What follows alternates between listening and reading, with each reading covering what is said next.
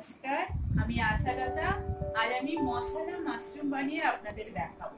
আর মশলা mushroom বানাতে কি কি উপকরণ লাগছে, চলুন আমরা একবার দেখি।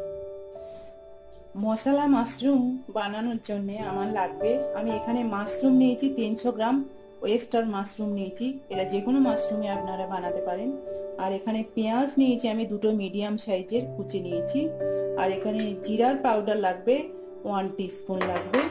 হলুদ পাউডার লাগবে ওয়ান টিস্পুন শুকনো লঙ্কার পাউডার লাগবে ওয়ান টিস্পুন ধনে পাউডার লাগবে ওয়ান টেবিল স্পুন গরম মশলা পাউডার লাগবে ওয়ান টিস্পুন কসুরি মেথি পাউডার লাগবে ওয়ান টিস্পুন আর এখানে আমি টমেটো, দুটো মিডিয়াম সাইজের টমেটো আর দশটা কাজু আমি একসাথে পেস্ট করে নিয়েছি। আর এখানে জিঞ্জার গার্লিক আদা রসুনের পেস্ট লাগবে ওয়ান টেবিল স্পুন তো চলুন আমরা এখন রান্নাটা শুরু করি। গরম হয়ে গেছে। আমি এখানে থ্রি টেবিল স্পুনের মতন অয়েল দিলাম সর্ষের তেল দিলাম। এটা আপনারা রিফাইন অয়েলেও করতে পারেন সয়াবিন অয়েলেও করতে পারেন। এখন আমি দিয়ে দেবো পেঁয়াজটা দিয়ে দেবো। পেঁয়াজটা আমি খুব ভালো করে ভেজে নেব। পেঁয়াজ পেঁয়াজটা হালকা ব্রাউন হয়ে গেছে। এবার আমি রসুন আদা বাটাটা দিয়ে দেব।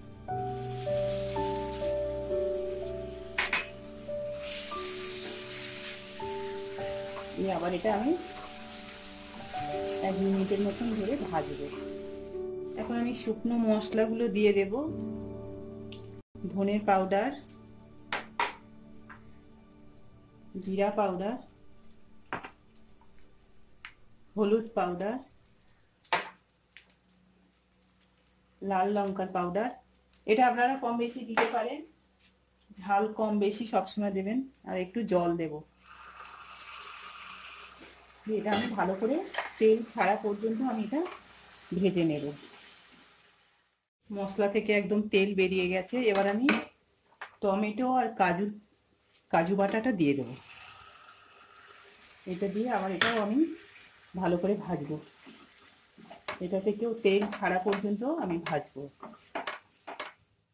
এখন আমি নুনটা দিয়ে দেবো। স্বাদ অনুসার নুনটা দিয়ে দেব। মশলা থেকে একদম তেল বেরিয়ে গেছে। এবারে আমি মাশরুমটা দিয়ে দেবো এর মধ্যে।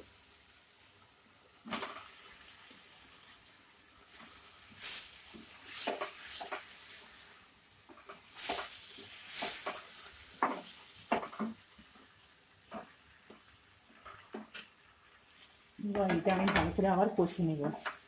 চার পাঁচ মিনিট আমি এটা কষবো। মাশরুম থেকে পুরো জল বেরিয়ে গেছে। মাশরুমের জলটা শুকিয়ে নেব আমি। আর এটা আমি মিডিয়াম হিটে ঢেকে ঢেকে রান্না করব। মাশরুমটা আমি চার পাঁচ মিনিট ঢাকা দিয়ে রান্না করেছি। এখন আমি দিয়ে দেব গরম মশলাটা দিয়ে দেব। গরম মশলার পাউডারটা দিয়ে দিলাম। আর কসুরি মেথির পাউডার পাউডারও দিলাম। দিয়ে এটা আমি আবার একটু ভালো করে নেড়ে দেব।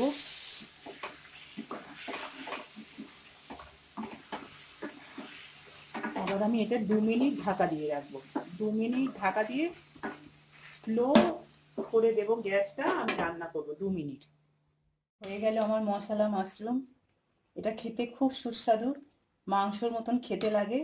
যারা মাছ মাংস খান না, তাদের জন্য তো খুব ভালো অপশান এটা। এটা আপনারা খেতে পারেন।